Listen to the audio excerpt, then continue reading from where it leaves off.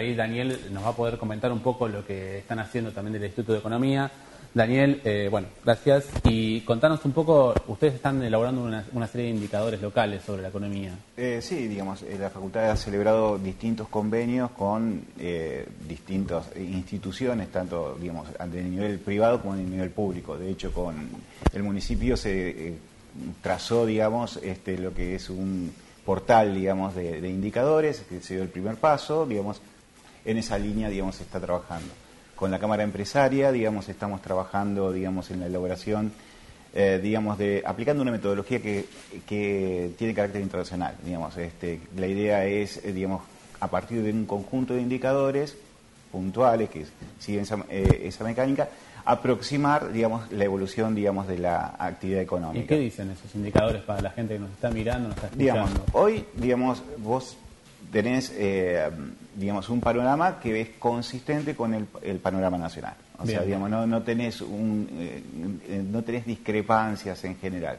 Hay algunos este, indicadores que, que, están mostrando que la caída, digamos, ha sido mayor en Tandil en este periodo, pero, digamos, esto no nos tiene que sorprender tampoco porque cuando la coyuntura fue muy positiva, Tandil fue por encima, digamos, de la evolución económica. Entonces, digamos, ese comportamiento eh, usualmente se lo llama de carácter procíclico, digamos, y muchas veces las ondas que tiene, las ondas, para hablar en términos, imaginemos que esto tuviera una tendencia, digamos, y tuviera ondas que, eh, eh, suben y bajan. que suben y bajan, probablemente las ondas que tiene Tandil son más positivas en los periodos positivos, pero pueden llegar a ser más negativas en los periodos negativos.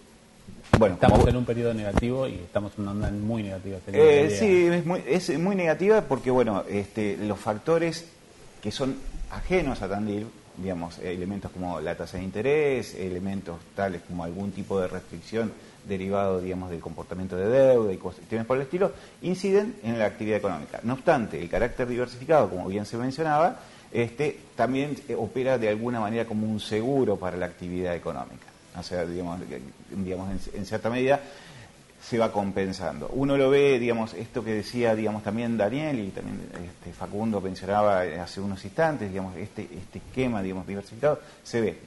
El dato que dijo Daniel, el sentido de la, digamos, de la recaudación, ya no medida en términos nominales, sino en términos reales, indica que si bien ha caído la recaudación, en Tandil ha caído menos que comparado, por ejemplo, con a nivel nacional o a nivel provincial, en términos reales.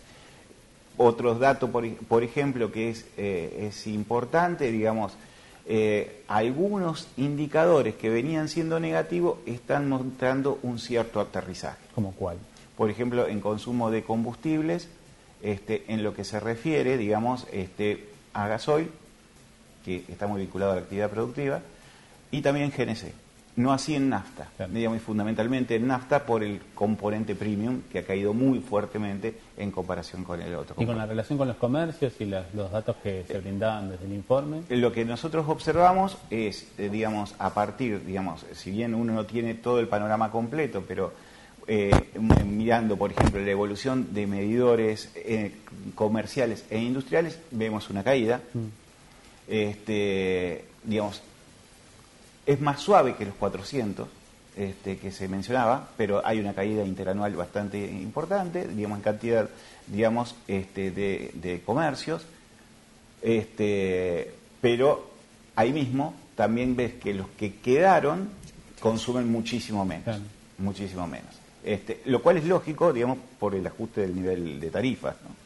Entonces, ahí en, ese, en esa variación vos incorporás varias cosas, o sea, algunas cuestiones, digamos, de la migración hacia este, consumos más eficientes, como también, digamos, retracción por el, eh, el hecho, digamos, de la suba de tarifa misma. Y en relación a la gente ocupada y la gente desocupada, que también lo marcaba el informe. El, el informe, digamos, este, toma algunas de, algunas de las referencias, digamos, algunas de las referencias, digamos, a partir de las encuestas, eh, de la encuesta que desarrolló la Dirección de Estadística, digamos, este, digamos, en conjunto con la Dirección de Estadística Provincial, digamos, y, y se compara contra otras eh, pares nacionales, donde lo que se ve es que la tasa en el periodo de medición es mayor. Ahora, digamos, uno tiene, muchas veces no tiene que ver, mirar solamente lo que es la tasa de desempleo, eh, tiene que mirar la tasa de desempleo en conjunto cómo se comporta la población económicamente activa, que es la gente que, digamos, que, eh, digamos, que está dispuesto a trabajar y que trabaja. A veces que trabaja y está dispuesto a trabajar. Muchas veces la tasa de desempleo crece no solamente porque, digamos, los que ya estaban en, eh, digamos, en el mercado eh, no consiguen trabajo o pierden su trabajo, sino porque se incorpora nueva gente que está buscando trabajo. Entonces hay un fenómeno ahí que juega doblemente.